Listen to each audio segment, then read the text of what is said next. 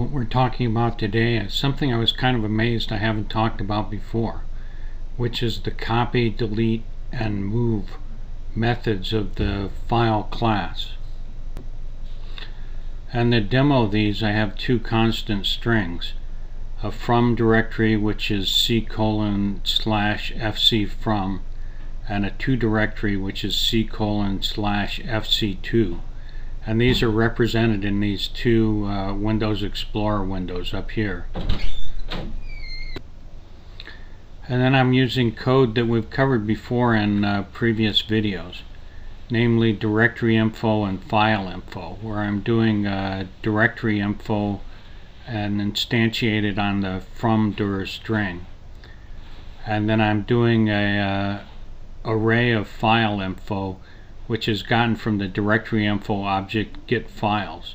So this is basically getting file info information for all the files in this uh, fc from directory. And then I highly recommend at this point you put the uh, file.copy inside a try because if you have a file.copy of the from and the to files and the file already exists in the to directory, you're going to get an exception that just bombs the application out. So we have the try catch blocks and the exception EX and then I just pop up a message box with the uh, exception if the file already exists. So if I put a breakpoint in this code uh, and then we run it and say I move the button in between these two window explorer windows. And then I press file copy.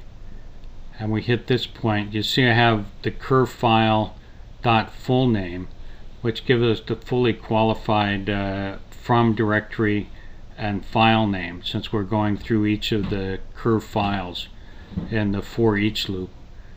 And then I have the to directory string concatenated with the curve file dot short name.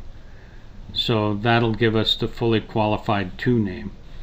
So the file copy will go from the from file to the to file, both fully qualified. And if I step through this, say using uh, F10, so we can see the files up here you see this file got copied from here to here without any problem since it didn't already exist. I come down and remove the breakpoint, uh, da -da -da. and then uh, just press F5 to continue running the program. You see it copied the other two files over as well. But if we run this again, see we get a message box that the file already exists. So it basically does nothing but doesn't bomb out because we're in the catch block. And the same thing with the other two files. A way you can get around this is you could uh, comment out the message box and then uncomment out the file.delete to delete the uh, to defined file and then just execute the same command again with the from and the to file.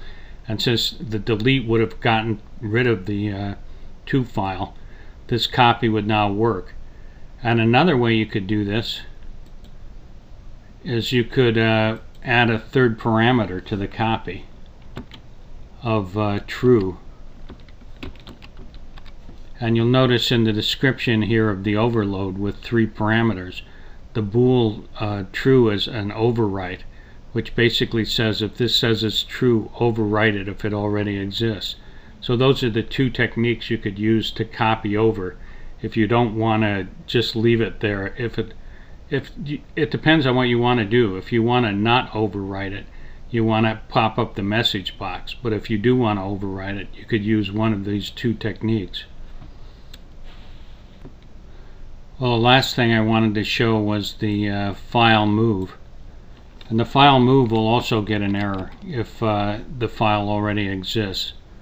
So why don't we uh, save the move. and then get rid of the two files.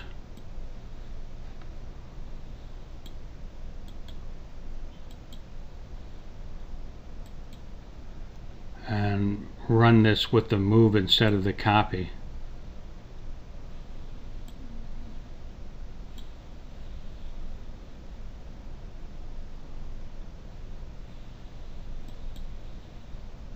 And you see the files disappeared from this directory and appeared in this directory.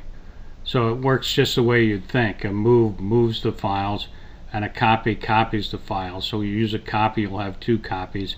And if you use a move, you'll just have one copy in a different place. Well, I hope you enjoyed this video and uh, learned a lot. and I'd appreciate it if you'd subscribe.